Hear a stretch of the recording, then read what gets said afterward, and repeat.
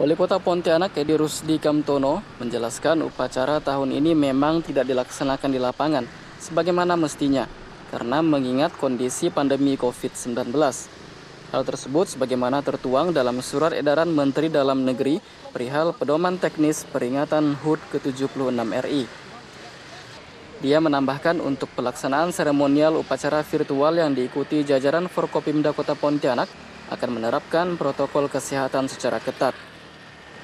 Meskipun digelar secara sederhana dan virtual, tetapi Edi memastikan tidak akan mengurangi kehidmatan dalam memperingati Hari Bersejarah Bangsa Indonesia.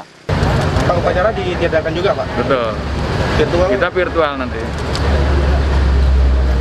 Maulid Pontipi memberitakan.